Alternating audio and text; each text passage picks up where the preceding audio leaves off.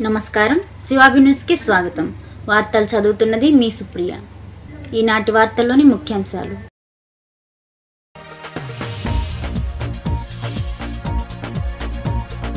వార్డుల్లో రోడ్లు కాలువలు నిర్మాణాలు చేపడతాం. పదిహేడు వార్డులో పర్యటించి ప్రజలతో మమేకమైన చైర్పర్సన్ పొనక దేవసేనమ్మ.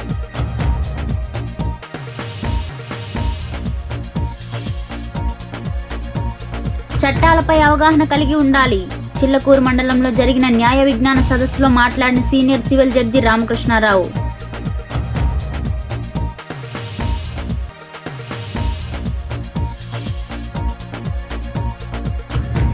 RTC డిఎంపై చర్యలు తీసుకోవాలి. గూడూరు డిపోలో రెండవ రోజు కొనసాగిన నిరసన కార్యక్రమంలో నాయకులు డిమాండ్.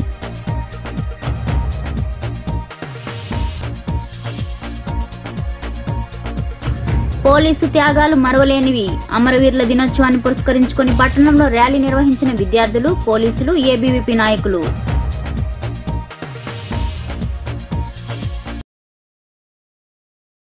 వార్డులో రోడ్లు కాలువలు నిర్మిస్తామని పురపాలక సంఘం చైర్పర్సన్ పొనక దేవసేనమ్మ స్పష్టం చేశారు. గూడూరు పట్టణంలోని పదిహేడో వార్డులో ఆమె అధికారులతో కలిసి పర్యటించారు. అవసరమైన పనులకు చైర్పర్సన్ దేవసేనమ్మ అధికారులచే ప్రతిపాదనలు సిద్ధం చేశారు.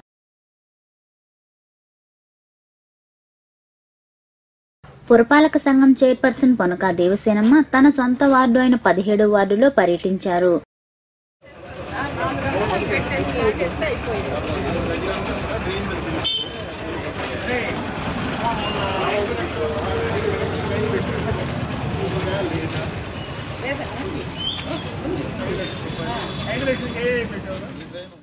వార్డులో ఏవైనా సమస్యలు ఉన్నాయా అంటూ ప్రజలను అడిగి తెలుసుకున్నారు. త్రాగునీరు వస్తోందని వారు ఆమెకు తెలిపారు.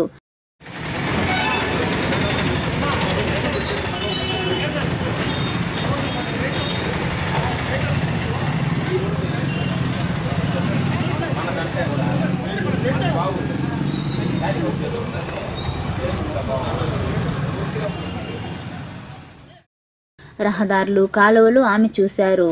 అవసరమైన చోట్ల రహదారులు కాలువలు నిర్మించేందుకు నిర్ణయం తీసుకున్నారు. అక్కడికక్కడే ఏఈతో పనులకు ప్రతిపాదనలు సిద్ధం చేశారు. అక్కడి ప్రజల నుండి సానుకూలత వ్యక్తమైంది.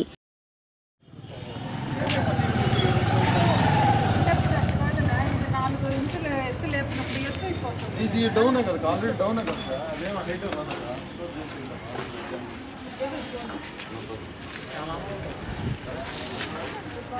రాదు కదా బాగుంది సార్. ఇక్కడ నుంచి కనపడుతుంది.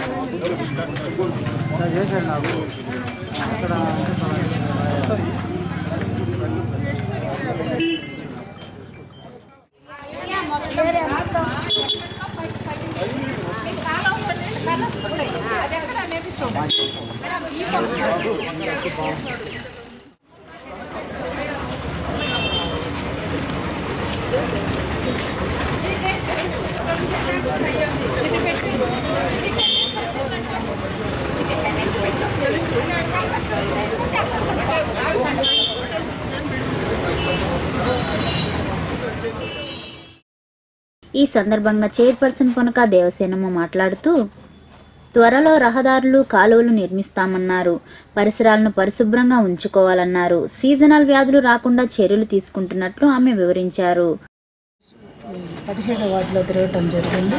అంటే ఉదయాన్నే వెళ్తే వాటర్ కానీ శానిటేషన్ అన్నీ పరిశీలించేదానికి అవకాశం ఉంటుంది కాబట్టి ఉదయాన్నే వార్డులోకి రావటం జరిగింది. శానిటేషన్ మాత్రం చిమ్ముతా ఉన్నారు. నిన్ననే దీపావళి పండుగ జరిగింది కాబట్టి ఆ చెత్త అంతా కూడా ఆ, ఉంటారు. చాలామంది అవుట్లు చిచ్చుబుడ్లు కాల్చి కూడా కాలువల్లో వేస్తే కాలువల్లో అన్నీ కూడా తీసి బయట వేయటం జరిగింది. శానిటేషన్ బాగానే చేస్తూ ఉన్నారు. అదేవిధంగా వాటర్ ప్రాబ్లం ఉంటే వాటర్ కూడా ఎక్కడెక్కడ రావటం లేదు ఎక్కడ బాగా వస్తుంది అనేది కనుక్కోవడం జరిగింది. కొన్ని దగ్గరలో ఈ కాలువల్లో పైప్ ఏదో లీక్ అయ్యి మురికి నీళ్ళు వస్తున్నాయని చెప్పడం జరిగింది. దాన్ని వెంటనే రెక్టిఫై చేయమని చెప్పడం జరిగింది. ఇంకా ఈ లైట్లు అన్నీ బాగానే వెలుగుతున్నాయి. అందరూ హ్యాపీగా ఉన్నారు. ఇంకా రోడ్లు కూడా కాలువల కోసం పగలగొట్టి కొన్ని దగ్గరలో ఇదిగా ఉంది కొన్ని దగ్గరలో అసలు రోడ్లు కూడా లేకుండా ఉన్నాయి కాబట్టి ఆడంతా కూడా రోడ్లు వేసేదానికి చర్య తీసుకోవడం జరిగింది. అందరూ వార్డులో సభ్యులందరూ కూడా చాలా హ్యాపీగా ఉన్నారు. అన్ని సౌకర్యాలు మాకు అందుతున్నాయని చెప్తున్నారు. డోర్ కలెక్షన్కి ఈ ఆటో రావటం కానీ ప్రతిదీ వాటర్ కూడా అంత తిరుగుతున్నారు. వాటర్ కూడా సమృద్ధిగానే వస్తుందని చెప్తున్నారు. ప్రతిదీ అందరూ హ్యాపీగానే ఉన్నారు. కాకపోతే మేము తిరిగి శానిటేషన్ అది ఎట్లా ఉంది అందరినీ కూడా పలకరించడం జరిగింది. అందరూ సంతృప్తికరంగా మాకు సమాధానాలు ఇంకా పలువురు మాట్లాడారు. గూడూరు పట్టణంలో మా చైర్పర్సన్ గారి వార్డు పదిహేడవ వార్డులో పెరగడం జరిగింది. ఆ వార్డులో కొన్ని రోడ్లు డ్రైన్లు పగిలిపోయి ఉన్న రోడ్లని గమనించడం జరిగింది. చైర్పర్సన్ గారు పగిలిపోయిన రోడ్లని పగిలిపోయిన డ్రైన్ని మరొకసారి మన మున్సిపల్ ఫండ్స్లో పెట్టి చేసేదానికి తీర్మానించాలని చెప్పేసి ఆమె తెలియపరిచారు. తిరగడంలో వాటర్ ఎట్లా వస్తుంది? అక్కడ రోడ్ లెట్లు రోడ్లు ఎట్లున్నాయి? డ్రైన్లు ఎట్లున్నాయి? ఎలక్ట్రిసిటీ మన వీధి లైట్లు వెళ్తున్నాయా లేవా? ఇవన్నీ ఆమె పరిశీలించడం జరిగింది. అక్కడ పబ్లిక్ కూడా చాలా మంచి స్పందనతో అన్నీ బాగున్నాయని చెప్పారు. అది నాకే సంతోషం వేసింది. మా తర్వాత మా చైర్పర్సన్ గారి కంటే కూడా నాకే సంతోషం వచ్చింది ఎందుకంటే డోర్ టు డోర్ కలెక్షన్ వస్తుంది లైట్లు వెళ్తున్నాయి అన్నారు రోడ్లు నలిగిపోయిన రోడ్లు మాత్రం ఏమని వాళ్ళు చే- తెలియపరిచారు. మరి అన్నీ బాగున్నాయి. మున్సిపల్ సేవలు బాగా అందుతున్నాయని కూడా తెలియపరిచారు. చాలా సంతోషదాయక విషయాన్ని నేను చాలా సంతోషం. మున్సిపల్ చైర్పర్సన్ గారైనటువంటి దేవసేనమ్మ గారు అలాగే కమిషనర్ గారు వారి బృందంతో వచ్చి మా వార్డులో ఉన్న సమస్యలన్నీ తెలుసుకొని వాటిని ఇదివరకే ఒకసారి వచ్చి సమస్యలు తెలుసుకొని వాటిని క్లియర్ చేయడం జరిగింది. తిరిగి ఈరోజు ఏం సమస్యలు ఉన్నాయి అని కనుక్కోవడానికి వచ్చారు. ఇక్కడ దేవాలయం ముందు ఒక కల్వర్టర్ బిగించితే అది చాలా ఇన్కన్వీనియంట్గా ఎత్తుగా ఉండి వాహనాలు రాకపోగలకు అసౌకర్యం ఇబ్బందిగా ఉందని వాళ్ళ దృష్టికి తీసుకొచ్చాం. వారిద్దరు కూడా వెంటనే అది కరెక్టే అని తలచి దాన్ని తగు కన్ కన్సర్న్ అధికారులకు చెప్పి దాన్ని కరెక్ట్గా చేయమని కూడా ఇప్పుడే చెప్పారు. ఈ దీపావళి సందర్భంగా కాలువలన్నీ మురుకుగా ఈ చెత్త అంతా పడి ఉన్నది కాబట్టి వాళ్ళే వాళ్ళ సిబ్బందిని తీసుకొచ్చి అంతా క్లియర్ కూడా చేశారు. ఇదివరకు కూడా మాకేమైనా సమస్యలు ఉంటే చైర్పర్సన్ గారికి కమిషనర్ గారి దృష్టికి తీసుకుపోతే వాళ్ళన్నీ మాకు చేస్తున్నారు. మా వార్డు అంతా హ్యాపీగా మేము బాగున్నాము. మా చంద్రయ్య ఏదైనా ఇబ్బందులున్నా వాళ్ళ దృష్టికి తీసుకుపోతుంటారు.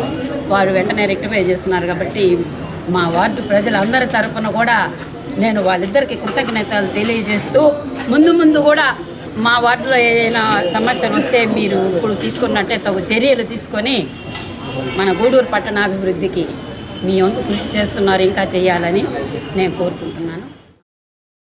వార్డు సందర్శన కార్యక్రమంలో కమిషనర్ చంద్రశేఖర్ రెడ్డి టీడీపీ నాయకులు కోడిపర్తి శ్రీధర్ అధికారులు స్థానికులు పాల్గొన్నారు. చట్టాలు తెలియకపోవడం ద్వారా నష్టపోవడమే కాకుండా కష్టాలు ఎదుర్కోవాల్సి వస్తుందని సీనియర్ సివిల్ జడ్జి రామకృష్ణారావు తెలిపారు.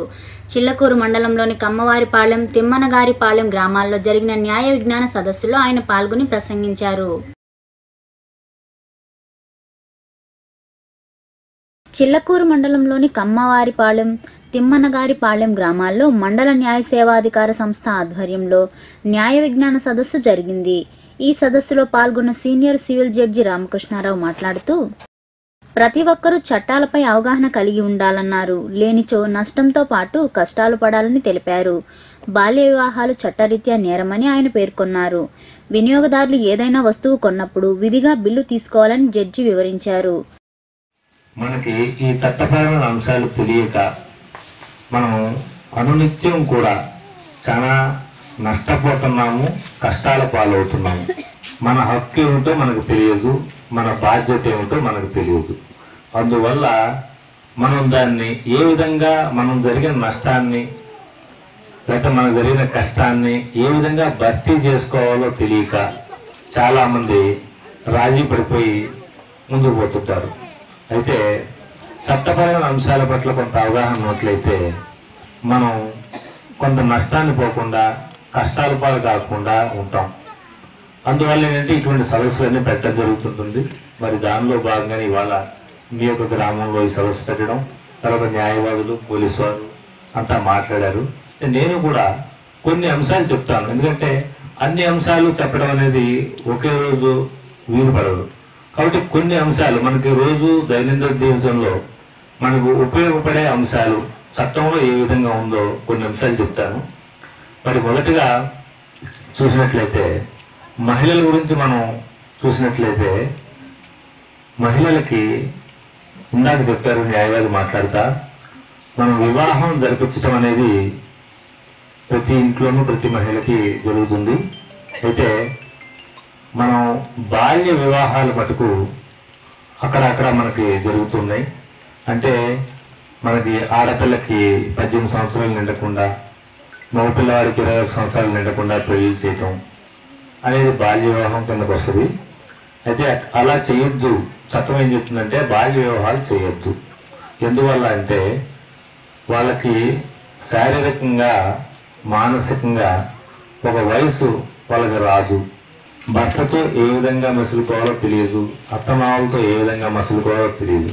అదే కొద్దిగా పద్దెనిమిది సంవత్సరాలు నిండిన తర్వాత మానసికంగా శారీరకంగా మనం పరిపక్వ చెందితే మనం వివాహానికి చేస్తే ఆ ఆ పిల్లలు ఏ విధమైన ఇబ్బందులు పడకుండా ఉంటారు? ఇంకా పలువురు మాట్లాడారు. ఈ వివక్షత గురవుతున్నారు కాబట్టి వాళ్ళకున్న హక్కులు న్యాయ సలహాలు న్యాయ సమాచారం చెప్పేదానికి మండల సేవ అధికార సంస్థ మీ గ్రామానికి వచ్చింది. వీటిలో నేను ఒక ఒక్కొక్క దాంట్లో రెండు రెండు పాయింట్లు చెప్తాను. తర్వాత మా సబ్జెక్టు గారు మీకు విపులంగా ఆ చట్టానికి సంబంధించిన విషయాలన్నీ విశదీకరిస్తారు. మొట్టమొదటిసారిగా ఆడవాళ్ళు వివక్షత గురి కావడం అంటే పెళ్ళైన వెంటనే మొట్టమొదటి సమస్య వరకట్నం. ఈ వరకట్న బాధితులు వల్ల చాలా కేసులు మాకు మా మా కోర్టులో కూడా ఫోర్ నైన్టీ ఎయిట్ అనే ఒక సెక్షన్తో చాలా మంది తిరుగుతున్నారు. ఇదంతా అవగాహన లోపం వల్ల తిరుగుతున్నారు. వరకట్నాలు అనేటివి ప్రతి ఒక్కరూ ఎవరైనా సరే చిన్న కాడ నుంచి పెద్ద వరకు పెళ్ళి సమయంలో కొద్దిగా మనీ ఇచ్చే సాంప్రదాయం మన భారతదేశంలో ఉంది. మరి ఈ సాంప్రదాయం ప్రకారం ఈ కట్నాలు ఇచ్చే అవకాశం ఉన్నప్పుడు చిన్న చిన్న చదువులు కూడా కుటుంబంలో కోడళ్ళు ఎక్కువగా ఎక్కువ తప్పుడు కేసులు పెడతారు కానీ దాన్ని మీరు- మీరు విచక్షణతో ఆలోచిస్తే కుటుంబాలు చెడిపోకుండా మీకు న్యాయం జరిగేదానికి అవకాశం ఉంటుంది. ఆ ఫిట్నెస్ డేట్ దాటితే మా మీద కేసు అనేది రాశారు సార్. రేపు ఈ- రోజు లీగల్ రోజుతో డేట్ అయిపోయింది.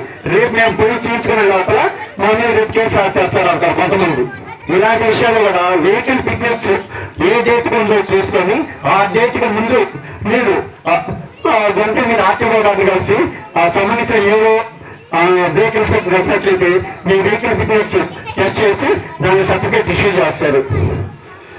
నెక్స్ట్ ఇంకోటి ఏంటంటే వెహికల్ తిరగడానికి మీరు ఏ పలానా డేట్ నుండి పలానా డేట్ వరకు మీరు రూట్ ట్యాక్స్ కడతారు. ఎక్కువ విలేజెస్లో ట్రాక్టర్లు ఆటోలు బైక్లు ఇవే ఎక్కువ ఉంటాయి. ఈ నూటికి మీరు ఏ డేట్ నుండి ఏ డేట్కి road tax కట్టారో minimum three months date date మారుతుంది. అలాగే మీరు ట్యాక్స్ కట్టని పరిస్థితులు మీ మీద కేసు రాసే అవకాశాలు కూడా ఉన్నాయి. మీరు ఆ డేట్ చూసుకొని మీ మీద ఎటువంటి కేసులు రాయదు. పోలీసు వారు కాదు బ్రేక్ ఇన్స్పెక్టర్ కూడా మీ మీద రాయదు. మన గుడి తీసుకున్న ముగ్గురు ఉన్నారు బ్రేక్ ఇన్స్పెక్టర్లు ఎందుకు కేసులు రాస్తారు మా మీద అంటారు. మీరు అసలు రూట్ ట్యాక్స్ కట్టారా లేదా అన్న నాలెడ్జ్ మీకు ఉన్నట్లయితే మీ మీద ఆ రూట్ ట్యాక్స్ అనేది రాయదు. ఈ న్యాయ విజ్ఞాన సదస్సులో న్యాయవాదులు కోటేశ్వరరావు హరినాథ్ ప్రసాద్ తేజేంద్ర కుమార్ అరవ పార్వతయ్య ఎస్ఐ శ్రీనివాసరావు తదితరులు పాల్గొన్నారు.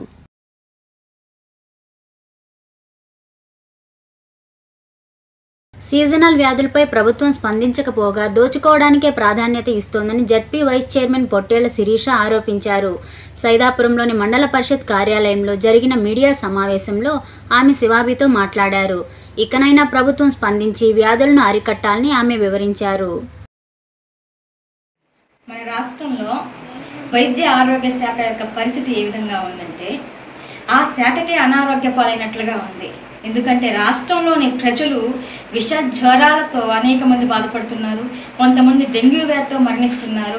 అయినప్పటికీ ప్రభుత్వం అయితే నిమ్మకు నీరెత్తినట్లుగా ముందస్తు చర్యలు ఎటువంటివి తీసుకోకుండా ఉంది. చంద్రబాబు నాయుడు గారైతే ఈ జన జ్వరాల నియంత్రణ విషయంలో అయితే ప్రభుత్వం పూర్తిగా విఫలమైంది. చంద్రబాబు నాయుడు గారు రా- రాష్ట్ర ప్రజల ఆరోగ్యాన్ని గాలి వదిలేసి దాచుకో దోచుకోవడం దోచుకున్నది దాచుకోవడం దీని మీద దృష్టిని పెడుతున్నారు తప్ప ప్రజల ఆరోగ్యాన్ని ఏమాత్రం పట్టించుకునే స్థితిలో ఆయన గారు మాత్రం కనిపించడం లేదు. మరి యొక్క ప్రధాన అంశం ఏంటంటే వైఎస్ జగన్మోహన్ రెడ్డి గారు నలభై ఐదు సంవత్సరాలకే బడుగు బలహీన వర్గాల వారి కోసం నలభై ఐదు సంవత్సరాలకి పెన్షన్ మంజూరు చేశారు. దీన్ని అందరూ స్వాగతించదగ్గ విషయం. ఎందుకంటే దే భారతదేశ చరిత్రలోనే ఎన్నడూ ఎప్పుడు లేని విధంగా ఏ నాయకుడు చేయని విధంగా వైఎస్ జగన్మోహన్ రెడ్డి గారు ఈ చారిత్రాత్మక నిర్ణయం తీసుకోవడం జరిగింది. బడుగు బలహీన వర్గాలకై ఒక ఒక విషయం ఇదేదైనా లబ్ధి పొందారు అంటే అప్పుడు వైఎస్ రాజశేఖర రెడ్డి గారి హయాంలో జరిగింది. నెక్స్ట్ చంద్రబాబు నాయుడు గారు ఎన్నికలకు ముందు బీసీలకు ఎన్నో హామీలు ఇచ్చారు అధికారంలోకి రావడానికి. జిల్లాకి ఒక బీసీ భవనం కట్టిస్తామని పదివేల కోట్లు నిధులు కేటాయిస్తారని చెప్పడం జరిగింది. కానీ ఏమాత్రం కూడా అతను నిలబెట్టుకోలేకపోయాడు. ఓట్ బ్యాలెంట్గానే చూసినటువంటి బీసీలకు ఎన్నో హామీలు ఇచ్చారు.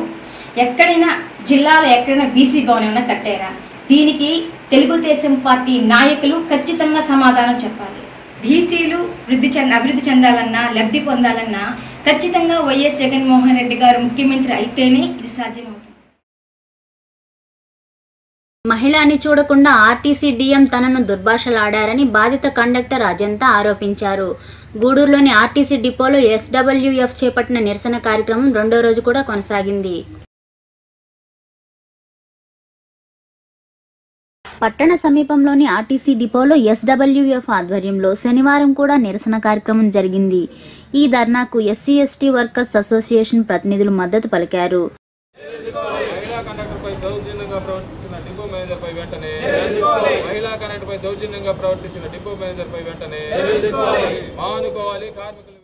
ఈ ధర్నాలో మహిళా కండక్టర్ అజంత మాట్లాడుతూ మహిళని కూడా చూడకుండా డిఎం దుర్భాషలాడారని కులం పేరు ప్రస్తావించారని తెలిపారు.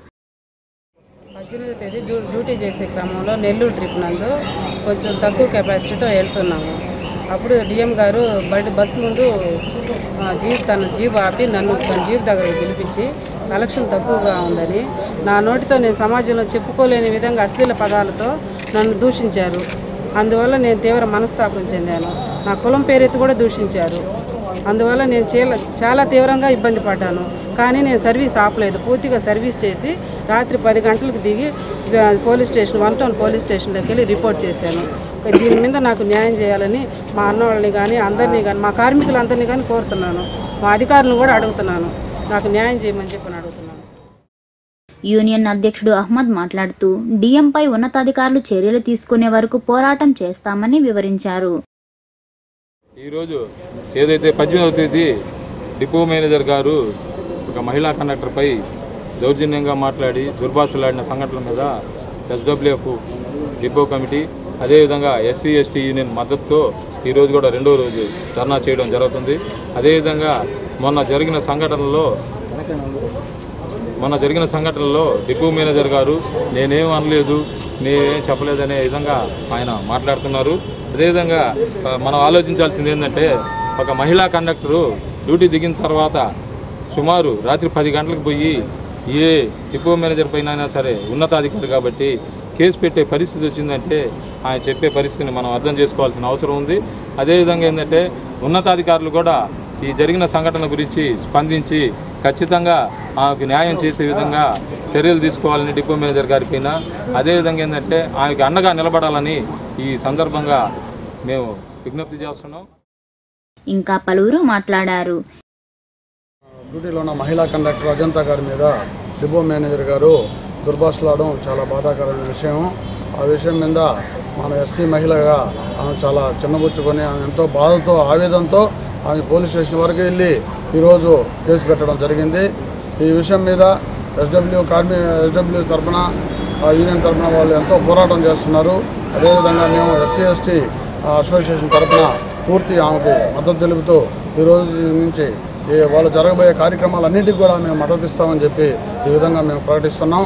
అదేవిధంగా మా చక్రపాణి గారు మీరయ్య గారు మా అందరి మద్దతు ఆమెకి పూర్తిగా ఉంటుందని మనస్ఫూర్తిగా మేము తెలియజేస్తున్నాం. అసోసియేషన్ తరఫున గూడూరు డిపో కార్మికురాలకు ఇబ్బంది జరిగిందని మేము ఆమెకి అందుబాటులో ఉండి ఆమెకి సేవాకరం అందిస్తామని ఈ నిరసన కార్యక్రమంలో వివిధ సంఘాల నాయకులు రఘురామయ్య జిలాని కృష్ణ చక్రపాణి శ్రీరాములు వీరయ్య తదితరులు పాల్గొన్నారు.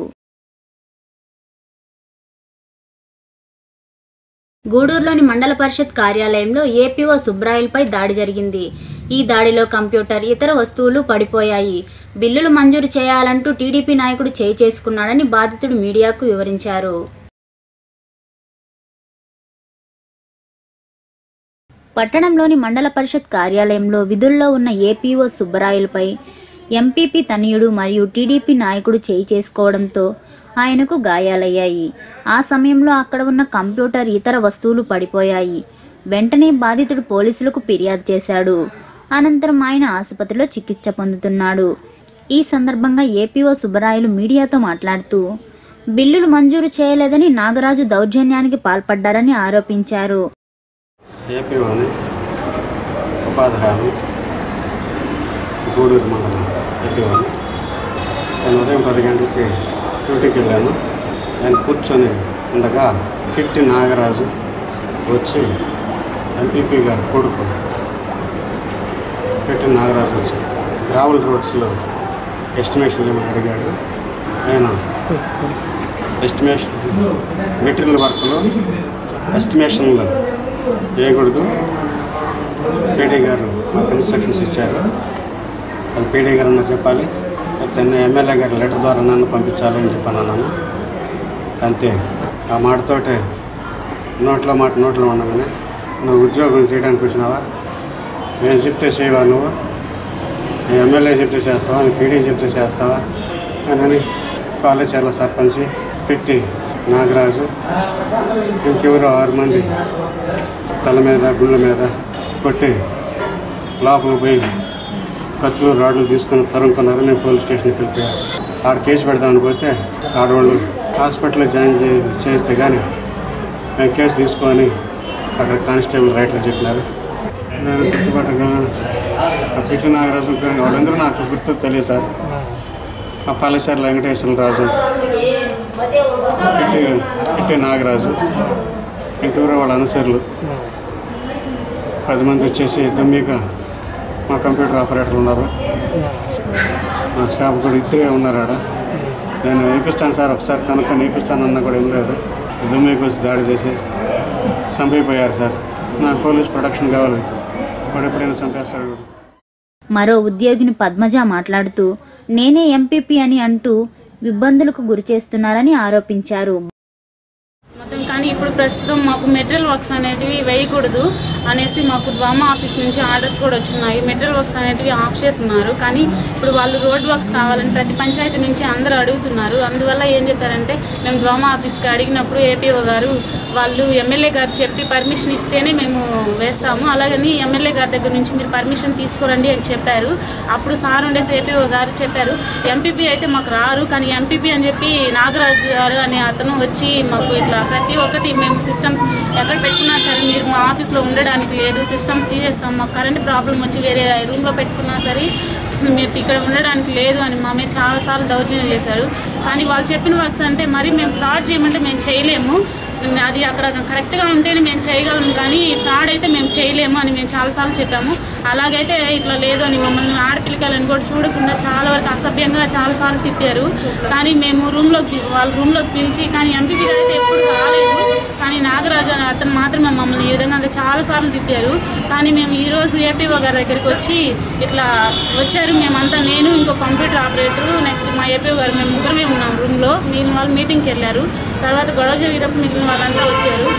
అప్పుడు వచ్చి ఇట్లా వచ్చిన తర్వాత ఎంపీపీ అని చెప్పి నాగరాజు అనే అతను వచ్చారు.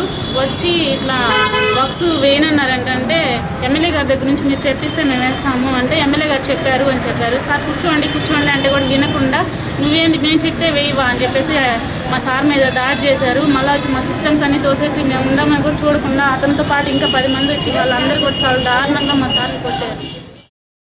ఇంకా పలువురు మాట్లాడారు. సార్. ఏపీ సార్ సీట్లో కూర్చొన్నారు. ఇంత లోపల ఎంపీపీ గారు వచ్చారు. వచ్చి మా ఎస్టిమేషన్లో ఏరియా అడిగారు. అయితే సార్ ఉండి అన్న చెప్తే వేస్తాను నేను. అన్న అన్నడి వేస్తా అంటే అన్న మమ్మల్ని వేసు మీకు చెప్పి ఎంచుకోమని ఎంపీపీ గారు చెప్పారు. ఎంచుకోమని అంటే సరే నేను అన్నను కనుక్కొని ఒకసారి వేస్తాను అన్న అంటే ఎమ్మెల్యే గారు. ఈ లోపల సార్ ఉండి కొంచెం ఇద్దరు అంటే ఒకరి మాటలకి ఒకరికి పంచన కుదరక వాగ్వాదం జరిగి ఈ కొట్టి ఎంపీ గారు వాళ్ళ అంచుల్లో ఏపీ గారిని కొట్టడం జరిగింది. బాధితుడిని పలువురు పరామర్శించారు.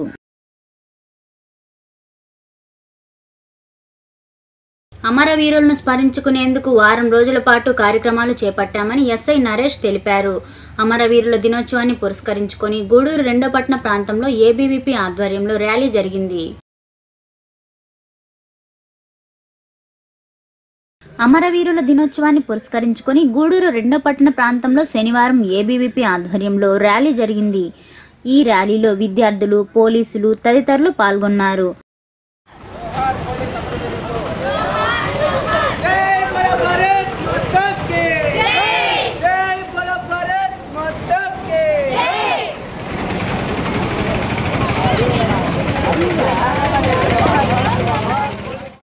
ఈ సందర్భంగా ఎస్ఐ నరేష్ మాట్లాడుతూ విధి నిర్వహణలో ఎందరో పోలీసులు ప్రాణాలు కోల్పోయారన్నారు.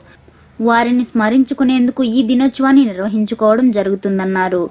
ఏబీవీపీ ఆధ్వర్యంలో ఈ కార్యక్రమాన్ని చేపట్టడం అభినందనీయమని ఆయన వివరించారు. అక్టోబర్ ఇరవై ఒకటి పోలీస్ సమావేశ దినోత్సవం. ప్రతి సంవత్సరం కూడా జరుపుకుంటా ఉన్నాం. పంతొమ్మిది వందల యాభై తొమ్మిది అక్టోబర్ ఇరవై ఒకటిన చైనా మన దేశాన్ని ఆక్రమించేటప్పుడు బోర్డర్లో ఉన్నటువంటి పోలీసులు ఒక ఏడుగురు ప్రాణాలు కోల్పోవడం జరిగింది. అప్పుడు చైనా పురాక్రమణలో ఏడుగురు పోలీసులు కూడా శవాలను కూడా కనపడకుండా చేశారు. ఒక పది మంది పోలీసులు గాయపడ్డారు. వాళ్ళని కూడా బందీలుగా బంధించారు. వాళ్ళు అప్పుడు చైనా దురాక్రమణని తిప్పుకొట్టడం వల్ల మన భూభాగంలోకి వాళ్ళు చొరబడలేదు. కాబట్టి పంతొమ్మిది వందల యాభై తొమ్మిది అక్టోబర్ ఇరవై ఒకటిన మన యొక్క జవాన్లు యొక్క బలిత్యాగాన్ని గుర్తుగా ప్రతి సంవత్సరం కూడా అక్టోబర్ ఇరవై ఒకటిన పోలీస్ సమన్వయ దినోత్సవంగా జరుపుకుంటున్నాం. అక్టోబర్ ఇరవై ఒకటికి ముందు పద్నాలుగు నుంచి అక్టోబర్ ఇరవై ఒకటి వరకు పోలీస్ వారోత్సవాలు జరుగుతా ఉన్నాయి దీనికి అందరూ కూడా ప్రతి సంవత్సరం కూడా చాలా మంది విధి నిర్వహణలో పోలీసులు చనిపోవడం జరుగుతుంది. వాళ్ళ యొక్క గుర్తింపు చిహ్నంగా ప్రతి సంవత్సరం కూడా పోలీసు అమరవీరుల దినోత్సవాన్ని అక్టోబర్ ఇరవై ఏడు జరుపుకుంటున్నాం. ఈరోజు స్వర్ణాంధ్ర భారతి కానీ టీఎస్ఆర్ మున్సిపల్ స్కూల్ తెలుగులో అయితే ర్యాలీ జరుగుతూ ఉంది.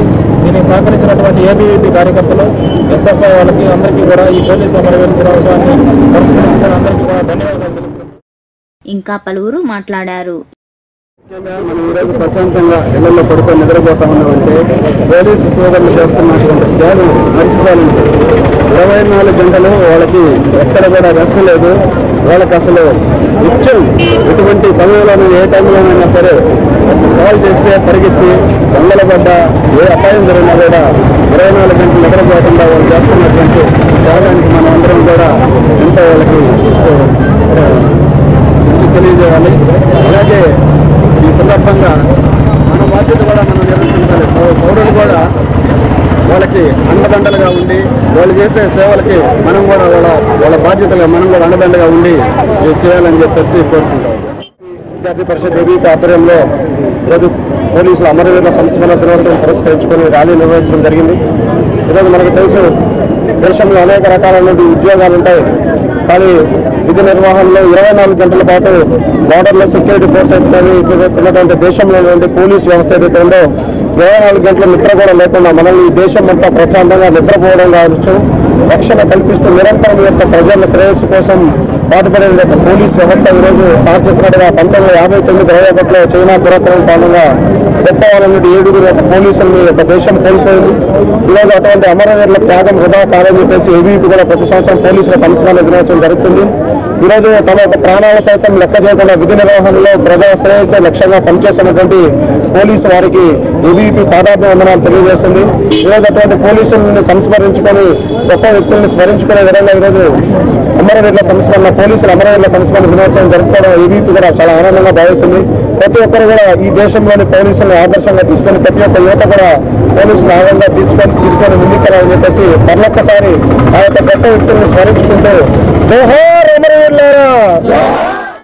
ఈ కార్యక్రమంలో మాజీ కౌన్సిలర్ ఎన్వి రత్నం ఏబీవీపీ రాష్ట్ర కార్యదర్శి మల్లికార్జున నాయకులు రవి తదితరులు పాల్గొన్నారు.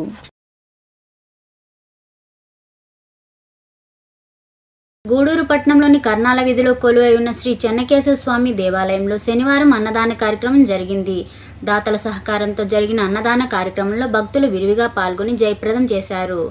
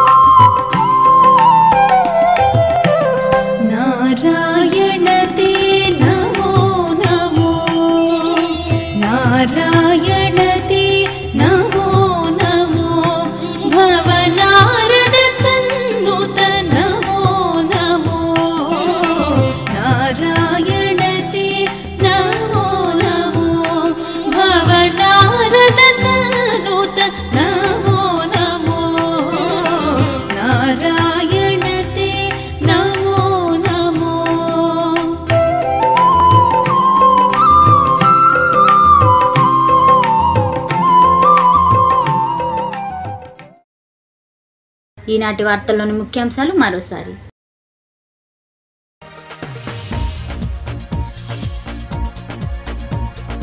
వార్డుల్లో రోడ్లు కాలువలు నిర్మాణాలు చేపడతాం. పదిహేడు వార్డులో పర్యటించి ప్రజలతో మమేకమైన చైర్పర్సన్ పొనక దేవసేనమ్మ.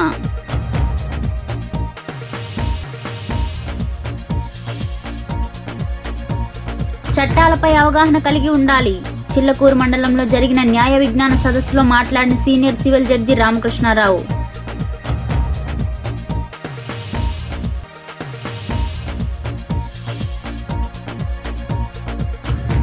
RTC డిఎంపై చర్యలు తీసుకోవాలి. గూడూరు డిపోలో రెండవ రోజు కొనసాగిన నిరసన కార్యక్రమంలో నాయకులు డిమాండ్.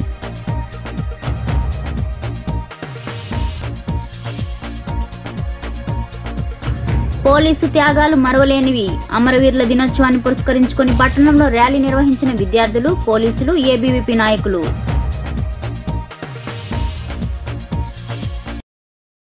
ఈ వార్తలు ఇంతటితో సమాప్తం. తిరిగి ప్రసారమయ్యే శివాబి న్యూస్లో మళ్ళీ కలుద్దాం. అంతవరకు సెలవు. నమస్కారం.